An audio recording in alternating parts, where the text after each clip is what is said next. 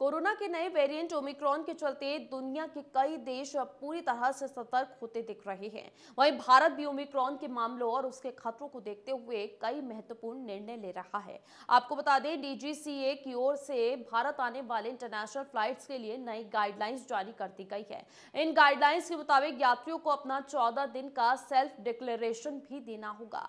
अब आपको ये बता देते हैं कि डीजीसीए की नई गाइडलाइंस है क्या? दरअसल गाइडलाइंस में कहा गया है कि यात्रियों को एयर सुविधा पोर्टल पर अपना 14 दिन का सेल्फ डिक्लेरेशन देना ज़रूरी होगा। यानी कि यात्री कहाँ कहाँ की यात्रा कर कर भारत आए हैं, ये बताना होगा।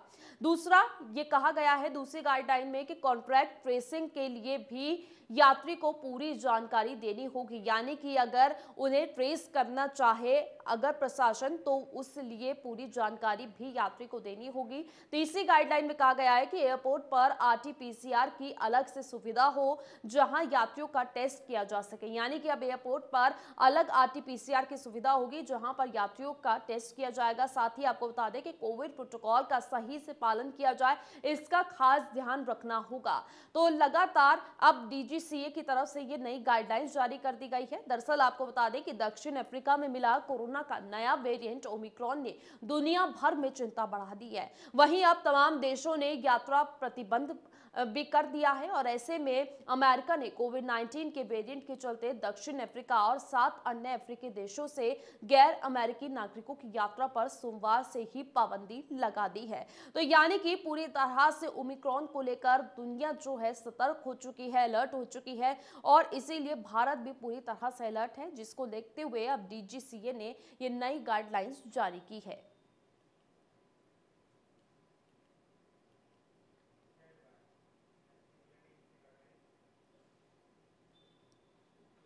कोरोना के नए वेरिएंट ओमिक्रॉन को लेकर देश और दुनिया में दहशत का माहौल है।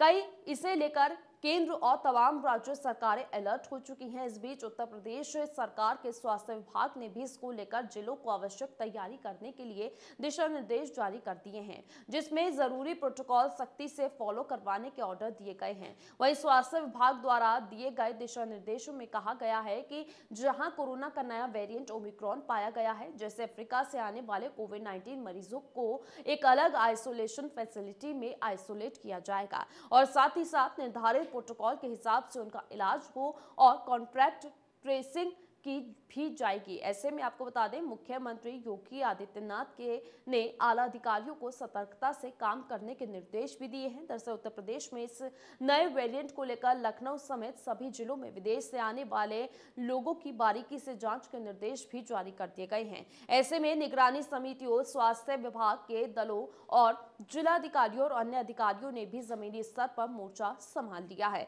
यानी कि अब उत्तर प्रदेश में भी अलर्ट जो है, देखने मिल रहा है ओमिक्रॉन को लेकर विदेशों से आने वाले लोगों की बारीकी से जाँच होगी, ये मुख्यमंत्री की तरफ़ से कहा गया है। साथ ही साथ आपको ये भी बता दें कि उत्तर प्रदेश में जो भी बाहर से यात्रा कर कर आएगा विदेश से, उसको एक अलग जगह पर ही आइसोलेट किया जाएगा।